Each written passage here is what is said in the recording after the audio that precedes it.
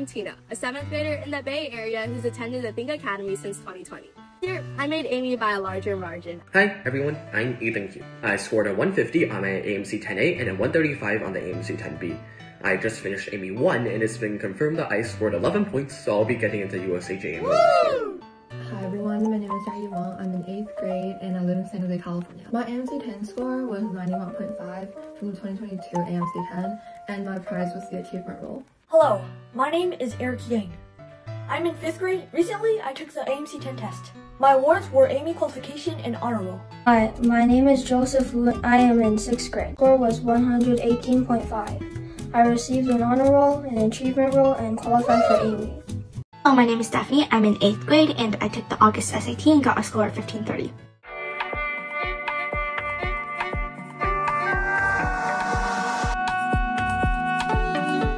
Are very professional and encouraging. You can see their feedback from me on the app, and they are always very thorough and helpful. What was really helpful to me with this Academy program was their classes and the one-on-ones because the classes would focus on all the topics and it would give like test-taking strategies as well as ways to solve each type of problem. And the one-on-ones would help me focus on the things that I kept getting wrong or stuff that I was struggling with. Not to teacher Dennis because like I've been his student for like a long time and I just feel like he never skips any steps.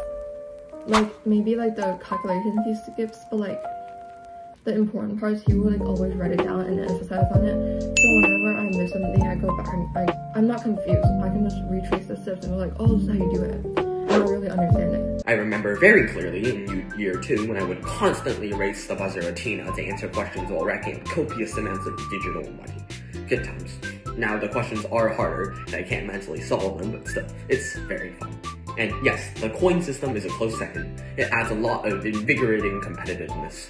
I've already practically mastered the candy bot, and doing it on iPad really does help a lot. I would not advise practicing that game on mouse. And I promise you, I will one day get a sub 40 on the 5x5 Schulte table when I get it lucky in a split. I would like to share my personal story with Think Academy. I was diagnosed with a very rare type of brain tumor back in 2021 when I just turned 9 years old. The week before I got diagnosed, I just had a test and interview with Think Academy, and I successfully made it to the ACE class, which was the highest level class for third graders. I had to go through two brain surgeries, chemo, and radiation treatment.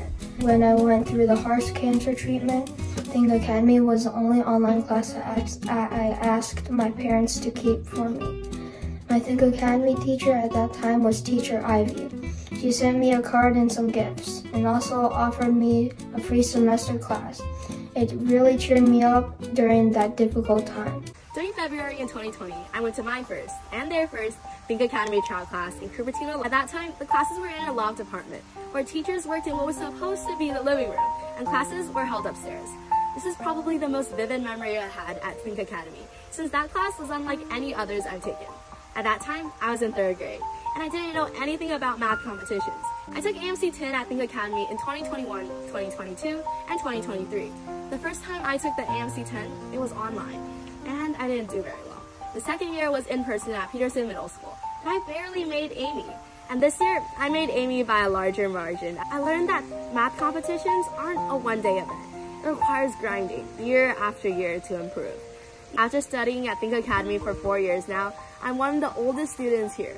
I've been stuck on their textbook problems, went to numerous hours of classes, and met lots of teachers, and I enjoyed every part of it. Think Academy has become part of my daily life through its plushies, highlighters, backpacks, water bottles, and even blankets. Thank you, Think Academy.